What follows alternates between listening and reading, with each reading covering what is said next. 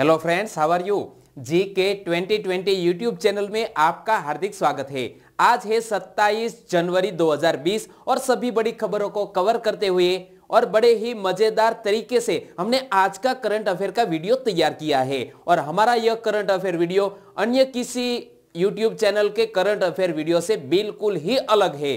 क्योंकि यहाँ हम ज़्यादा से ज़्यादा इमेजेस ऐड करते हैं और ज़्यादा से ज़्यादा इंपॉर्टेंट फैक्ट भी जोड़ते हैं। तो प्लीज़ दोस्तों वीडियो स्टार्ट से एंड तक देखिएगा। लास्ट में मैं आपसे एक क्वेश्चन पूछूँगा, जिसका आंसर आपको कमेंट बॉक्स में देना है। और आज के वीडियो के क्वेश्चन की पीडीएफ फ़ाइल नीचे डिस्क्रिप्शन में लिंक मिल जाएगी। वहाँ से आप डाउनलोड कर सकते हैं, पढ़ सकते हैं। तो चलिए स्टार्ट करते हैं पहले क्वेश्चन से। आज का पहला क्वेश्चन है प्रधानमंत्री नरेंद्र मोदी को पहले सागर माथा संवाद फोरम में हिस्सा लेने के लिए किसने आमंत्रित किया?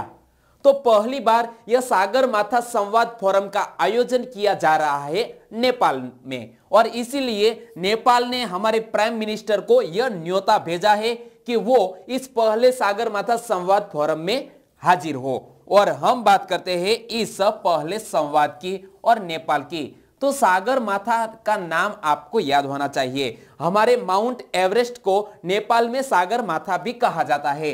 तो सागर माथा संवाद, इसका आयोजन 2 से 4 अप्रैल 2020 के बीच किया जाएगा। और इस संवाद के दौरान सार्क समूह के सभी देश के मुखिया भी वहाँ मौजूद होंगे। तो हमारे और पाकिस्तान के बीच यहाँ कंट्रोवर्सी देखते हुए क्या आगे चलकर नतीजा आता है, वो हमें वक्त बताएगा। और सागर माथा संवाद फोरम में वैश्विक, क्षेत्रीय और राष्ट्रीय महत्व के मुद्दों पर चर्चा की जाएगी। और फोरम की थीम क्या रखी गई है, यह हमारे लिए मोस्ट इंपॉर्टेंट क्वेश्चन है। तो इस फोरम की थीम यानी कि विषय रखा गया है, जलवायु परिवर्तन, पर्वत एवं मानवता का भविष्य, जो इस साल के पहले इस संवाद की थीम रखी गई है। और सागर माथा संवाद का नामकरण किस तरह किया गया है? तो इसका नाम दुनिया के सबसे ऊँचे पर्वत सागर माथा, जिसे माउंट एवरेस्ट भी कहते हैं। तो माउंट एवरेस्ट के नाम पर रखा गया है।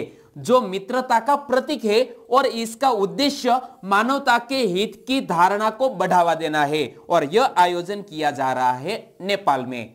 तो पहले तो आप मैप में देखिए। ये है नेपाल, जो हमारे यहाँ उत्तर प्रदेश से सटा हुआ नेपाल। नेपाल के राजधानी का नाम क्या है? काठमांडू। नेपाल के हाल ही की राष्ट्रपति कौन है? विद्या देवी भंडारी। और नेपाल के हाल ही के प्रधानमंत्री कौन है? खड़ग प्रसाद शर्मा ओली। नेपाल की करेंसी क्या है? नेपाली रुपया। और नेपाल के पचासी प्रतिशत नागरिक वो हिंदू है।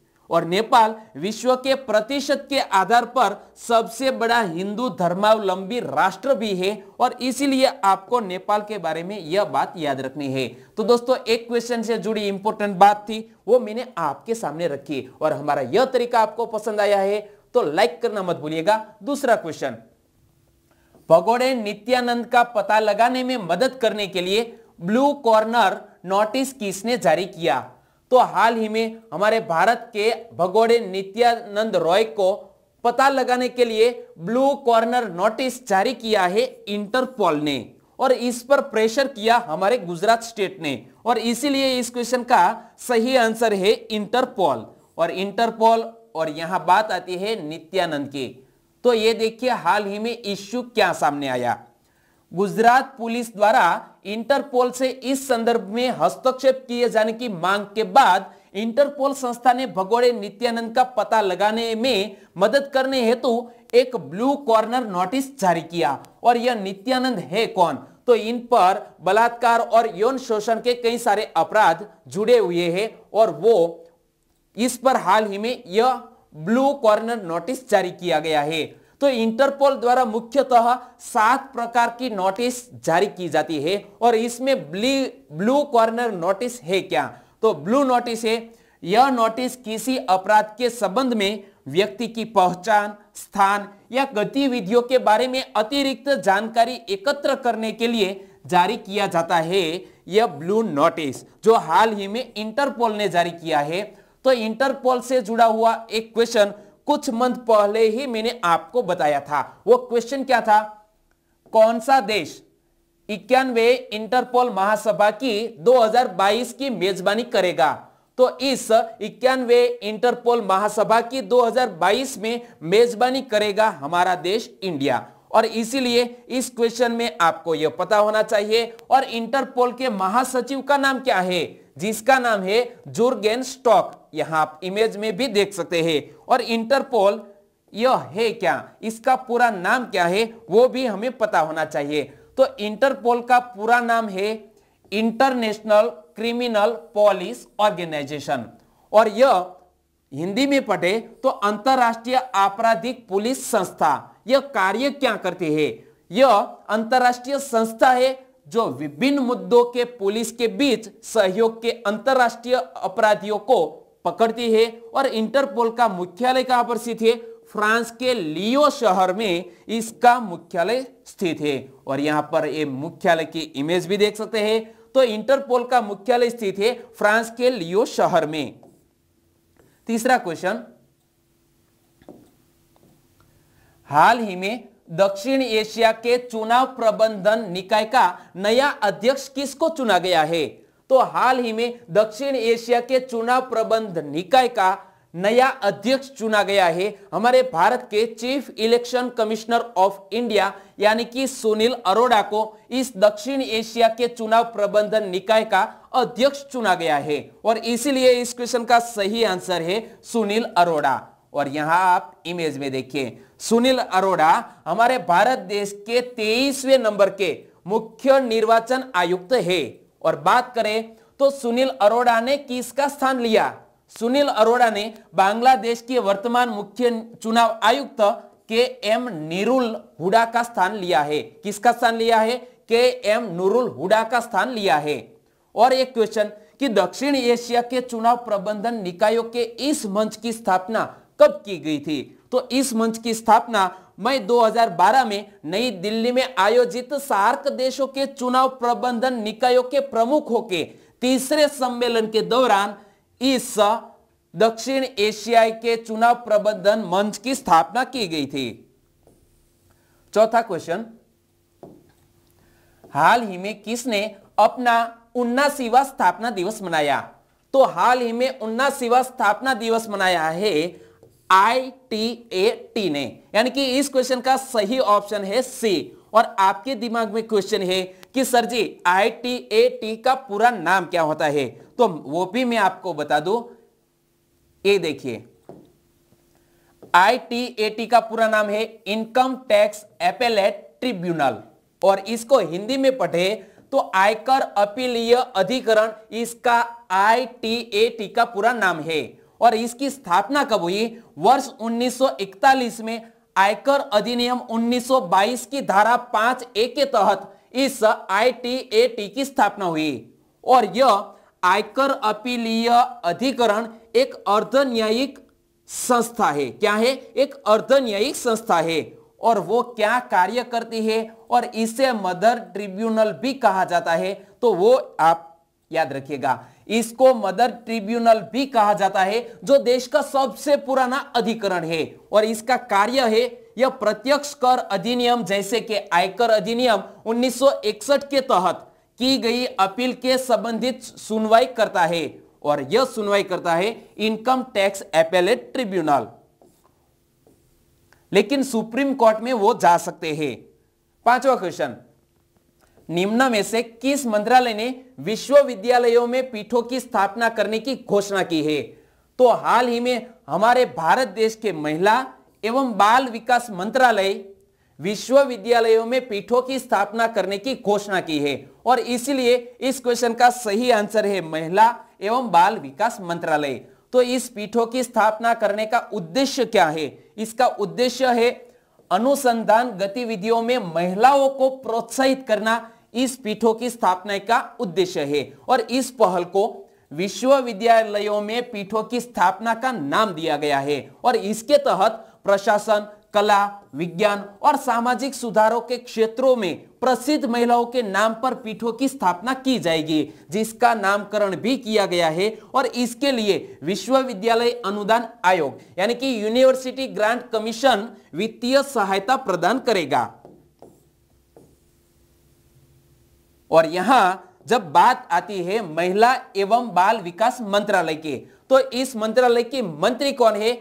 महिला एवं बाल विकास मंत्री है स्मृति ईरानी। और इसीलिए आपको कैबिनेट मंत्रिमंडल के बारे में भी पता होना चाहिए। छठा क्वेश्चन हाल ही में भारत पर्व 2020 कहाँ शुरू हुआ है? तो भारत पर्व 2020 हाल ही में शुरू हुआ है नई दिल्ली में। और इसीलिए इस क्वेश्चन का सही आंसर है नई दिल्ली। और इसका आयोजन किया गया है तो भारत पर्व के बारे में मैं आपको बता दूँ। इसका उद्देश्य है लोगों को देश के विभिन्न पर्यटन स्थलों को देखने के लिए प्रेरित करना। और भारत पर्व का इस साल का विषय क्या रखा गया है? तो भारत पर्व के इसके इस साल का सब्जेक्ट रखा गया है, एक भारत श्रेष्ठ भारत। और महात्मा गांधी के 150वीं जन्म जयंती का समारोह, जो इस साल का, इस भारत पर्व का थीम रखी गई है। और यहाँ आप ये इमेज को देखिए। 26 जनवरी से लेकर 31 जनवरी 2020 तक यह आयोजन किया गया है न्यू दिल्ली में। और दिल्ली में कहाँ पर? जिसका स्थान है लाल किला पुरानी दिल्ली में। सातवां क्वेश्चन वर्ष 2020 की गणतंत्र दिवस परेड कहाँ से प्रारंभ हुई? तो कल ही हमने इस गणतंत्र दिवस परेड को टीवी पर देखा और इस परेड की शुरुआत की गई है विजय चौक से। कहाँ से? विजय चौक से। और इसीलिए इस क्वेश्चन का सही आंसर है ऑप्शन सी तो यहाँ मैं कल जब हमारा इकहत्तरवा गणतंत्र दिवस मनाया गया, उसमें जो मोस्ट इंपोर्टेंट बात हमारे सामने आई, वो मैं आपके सामने रखने का प्रयास करता हूँ। तो आयोजन राष्ट्रीय राजधानी दिल्ली के राजपथ पर इसका आयोजन किया गया। और राष्ट्रपति रामनाथ कोविंद ने तिरंगा झंडा फहराया और परेड को सलामी ली।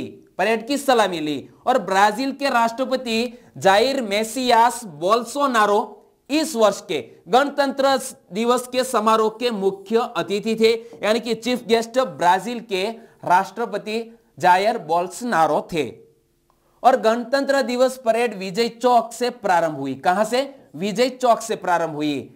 और लाल किला मैदान की ओर आगे बढ़ी। परेड का नेतृत्व किसने किया? तो दिल्ली क्षेत्र मुख्यालय के general officer, commanding parade commander lieutenant general Asit Mistry ने किया। और यहाँ आप देख सकते हैं, असित मिस्त्री इन्होंने इसका नेतृत्व किया है। आठवां क्वेश्चन किस देश में आए शक्तिशाली भूकंप में 20 लोग मारे गए और सैकड़ों घायल हो गए हैं। तो बहुत ही दुखदायक यह हादसा हुआ है। यानी कि प्राकृतिक आपत्ति का प्रकोप फूट पड़ा है हाल ही में इस तुर्की देश पर, जहाँ पर भूकंप की वजह से 20 लोग मारे गए और सैकड़ों वहाँ पर घायल हुए हैं। तो इस क्वेश्चन का सही आंसर है तुर्की। और इस आए भूकंप की बात करें तो इसकी तीव्रता कितनी थी? तीव्रता थी 6.8 रेक्टर स्केल और भूकंप का केंद्र कहाँ पर था? सिवरिस में। कहाँ पर? सिवरिस में। और जब भूकंप यानी कि जियोग्राफी से जुड़ा हुआ क्वेश्चन यदि हमारी एग्ज़ाम में आ सकता है तो यहाँ से यह क्वेश्चन निकल सकता है कि भूकंप इंग्लिश में बोले तो अर्थक्वेक मापने का यंत्र का नाम क्या है? यंत्र का नाम है सिस्मोग्राफ क्या है? सिस्मोग्राफ और भूकंप की तरंगों की तीव्रता मापने का एक गणितीय पैमाना क्या है? तो पैमाना है रिक्टर पैमाना। और यह दोनों वर्ड्स आपको याद रखने होंगे। और यह हाल ही में भूकंप आया है तुर्की में। तो पहले तो आप ये देखिए, यहाँ पर स्थित है यह तुर्की। और यहाँ पर हमारा इंडिया इंडिया से यहाँ पर पाकिस्तान, ईरान और आगे बढ़ते हुए यहाँ पर है तुर्की। और तुर्की की कैपिटल का नाम क्या है? अंकारा। तुर्की की करेंसी का नाम क्या है? नई तुर्किश लीरा। और तुर्की के हाल ही के राष्ट्रपति कौन है? रजब तैयब इर्दुगान। क्या नाम है? रजब तैयब इर्दुगान, जो हाल ही में तुर्की के राष्ट्रपति है। नवा क्वेश्चन गणतंत्र दिवस के अवसर पर कितने पद्म पुरस्कारों की घोषणा की गई? तो गणतंत्र दिवस हाल ही में जब मनाया गया तो हमारे राष्ट्रपति ने इस अवसर पर पद्म पुरस्कारों की घोषणा की और यह पद्म पद्म पुरस्कारों की संख्या है 141 यानी कि इस क्वेश्चन का सही आंसर है वन फॉर वन 141 जो इस पद्म पुरस्कारों की घोषणा की गई है। तो पद्म पुरस्कार तीन कैटेगरी में दिए जाते हैं, पद्म विभूषण, उसके बाद पद्म भूषण और तीसरा पद्मश्री तो इनमें पद्म विभूषण की संख्या है सात। पद्म भूषण की संख्या है सोलह। और पद्मश्री सम्मान पाने वाले व्यक्ति है 118 और कई सारे हमारे ऐसे नामांकित चेहरों को आमरणांत यह पद्म विभूषण से भी सम्मानित किया गया है। तो पहले ये देखिए, बारह लोगों को यह पुरस्कार मरणोपरांत प्रदान किया जाएगा। और सुषमा स्वराज, यहाँ देख सकते हैं, जो हमारे पूर्व विदेश मंत्री हुआ करती थी, सुषमा स्वराज, और इसी के साथ हमारे पूर्व वित्त मंत्री, जो हाल ही में स्वर्गस्थ है, अरुण जेटली साहब। उन दोनों को पद्म विभूषण से सम्मानित किया जाएगा दोस्तों। तो इस साल मरणोपरांत पद्म विभूषण से इन दोनों महान व्यक्तियों को सम्मानित किया जाएगा मरणोपरांत। और इसी के साथ यहाँ आप इमेज में देखिए, यह है एमसी मेरीकॉम और एमसी मेरीकॉम को भी पद्म विभूषण से सम्मानित किया जाएगा। दसवा question world breast feeding trends initiative के सर्वेक्षण में स्तनपान दर में किसको पहला स्थान प्राप्त हुआ है? तो यहाँ आप इंग्लिश में पढ़िए। World breast feeding trends initiative में पहला स्थान प्राप्त हुआ है श्रीलंका को। यानी कि इस क्वेश्चन का सही आंसर है ऑप्शन सी श्रीलंका। तो इस हाल ही में सर्वेक्षण में सामने बात आई है और इसमें अव्वल स्थान पर रहा है श्रीलंका। तो world breast feeding trends initiative की बात करें तो 97 देशों का सर्वेक्षण किया गया और इस सर्वेक्षण में श्रीलंका को पहला स्थान प्राप्त हुआ है और श्रीलंका को 100 में से इक्यानवे अंक प्राप्त हुए। और हम भारत की बात करें तो इस सर्वेक्षण में भारत को 78वां स्थान प्राप्त हुआ है और भारत का स्कोर है 45 और इसीलिए यहाँ हम काफ़ी पुअर साबित हुए हैं इस हाल ही में आए सर्वेक्षण में। तो यह आखिर world breast feeding trends initiative है क्या? तो world breast feeding trends initiative को 2004 में शुरू किया गया था और इसे दिल्ली में best breast feeding promotion network of India के विशेषज्ञों द्वारा शुरू किया गया था। और यहाँ बात आती है श्रीलंका की। तो श्रीलंका के बारे में अक्सर आपको याद रखना है। कि श्रीलंका की कैपिटल का नाम क्या है? एक है जयवर्धनेपुरे कोट्टे, जो श्रीलंका की एडमिनिस्ट्रेटिव कैपिटल है। और दूसरी है कोलंबो, जो श्रीलंका की एक कॉमर्शियल कैपिटल है। और श्रीलंका के हाल ही के नए प्रधानमंत्री कौन बन गए हैं? महिंदा राजपक्षे। और श्रीलंका के हाल ही के नए राष्ट्रपति कौन बन गए हैं? गोटाबया राजपक्षे। और श्रीलंका की करेंसी का नाम क्या है? श्रीलंका रुपया। और एक क्वेश्चन भी करंट अफेयर में मैंने आपको बताया था कि हमारे भारत के एडमिरल करमबीर सिंह, उन्होंने श्रीलंका का दौरा किया था। तो श्रीलंका के नौसेना प्रमुख vice admiral PL de Silva से भी भेंट की थी। तो इसीलिए आपको यह बात याद रखनी चाहिए। ग्यारहवा क्वेश्चन चौवालीसवें कलकत्ता पुस्तक मेले के लिए किसको फोकल थीम कंट्री चुना गया है? तो यह forty fourth Kolkata book fair का आयोजन किया गया है और इसमें फोकल थीम कंट्री चुना गया है रूस को किसको? रूस को और यहाँ इमेज में देखिए, यह forty fourth international Kolkata book fair का आयोजन किया जा रहा है। तो कब से किया जा रहा है? 29 जनवरी से लेकर 9 फरवरी तक यह कोलकाता बुक फेयर फेस्टिवल चलेगा। और यहाँ हम बात करते हैं यह चौवालीसवें कलकत्ता पुस्तक मेले के उद्घाटन के। तो पश्चिम बंगाल के मुख्यमंत्री ममता बनर्जी और इसी के साथ भारत में रूस के अम्बेसडर निकोली रिशातोविच इसका उद्घाटन करेंगे। और इसका आयोजन कब किया जाएगा? 29 जनवरी से लेकर 9 फरवरी के बीच इसका आयोजन किया जाएगा। और मेले में 600 से अधिक पुस्तक स्टॉल है। और कोलकाता साहित्य उत्सव इसी के दौरान ही आयोजन किया जाएगा। कब किया जाएगा? 6 से 8 फरवरी के दौरान यह कोलकाता साहित्य उत्सव का भी आयोजन किया जाएगा। और जब फोकल कंट्री रहेगा रूस तो आप पहले तो मैप में देखिए। यहाँ पर है रूस और रूस की कैपिटल का नाम है मॉस्को। और अगल बगल में कौन कौन से देश स्थित है? तो यहाँ पर है Finland, Belarus, Ukraine, Kazakhstan, Mongolia और चाइना से जुड़ा हुआ है रूस। रूस की कैपिटल का नाम क्या है? मॉस्को। रूस के हाल ही के राष्ट्रपति कौन है? Vladimir Putin. और रूस के हाल ही के नए प्राइम मिनिस्टर कौन बन गए हैं?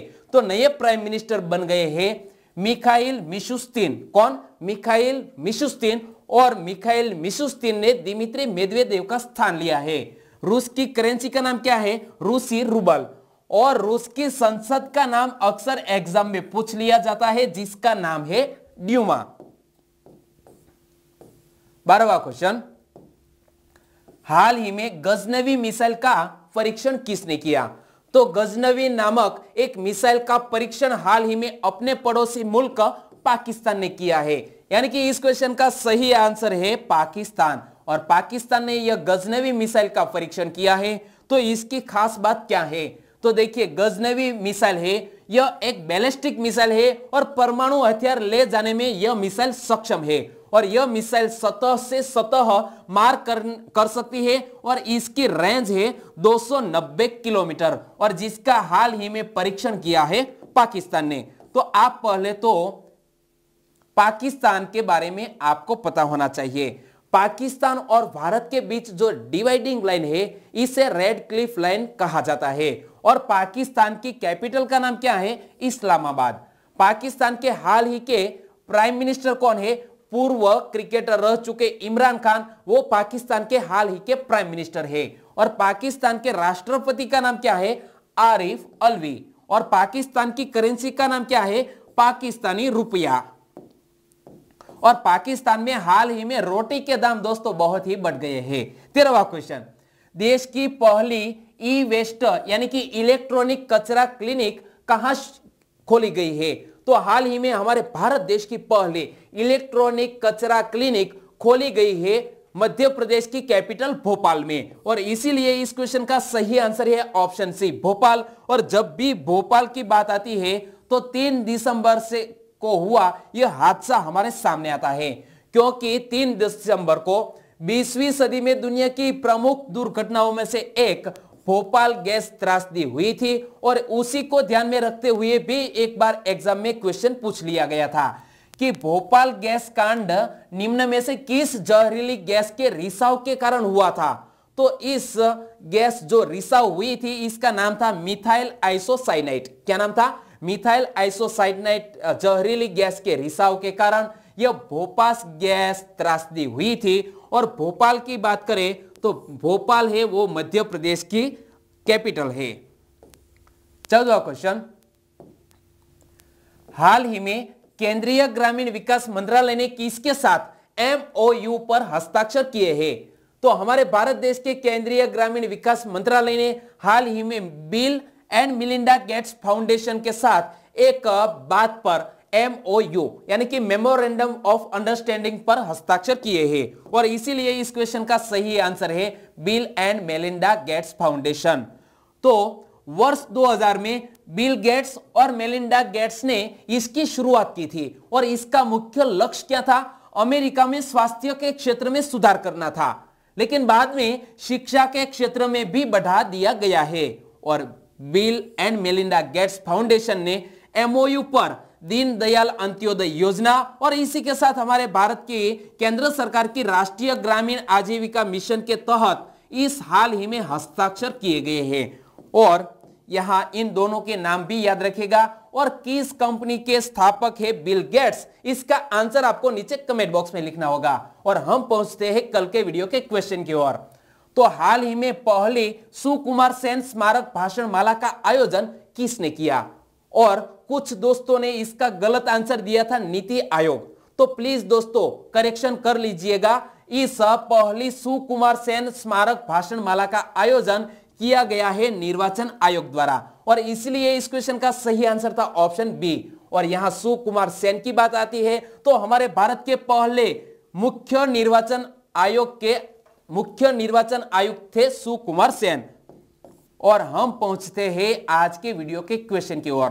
तो दोस्तों, आज का क्वेश्चन क्या है? विश्व के सबसे छोटे सोने के सिक्के का उत्पादन कहाँ किया गया? तो यहाँ आप देख सकते हैं, हमारे विश्व के महानतम साइंटिस्ट अल्बर्ट आइंस्टाइन की यहाँ इमेज है और यह सबसे छोटे कद के सिक्के का अनावरण हाल ही में किस देश द्वारा किया गया? यहाँ चार ऑप्शन आपकी स्क्रीन पर है और उसी में से आपको चॉइस करके यहाँ आंसर देना है। और दोस्तों आप हमारे साथ जुड़े रहिए और मैं आपको भी बता दूँ, हमारे कई सारे फ्रेंड्स ऐसे भी है जिन्होंने यहाँ कमेंट सेक्शन में डिस्क्रिप्शन में लिखा। और मैं आपसे भी बोलना चाहूँगा, आप भी कमेंट में ज़्यादा से ज़्यादा लिखा करो, क्योंकि एक बार जो आप लिख देते हैं, फिर आप उसे कभी नहीं भूलते। कल फिर मिलेंगे नए करंट अफेयर के साथ, तब तक के लिए जय हिंद।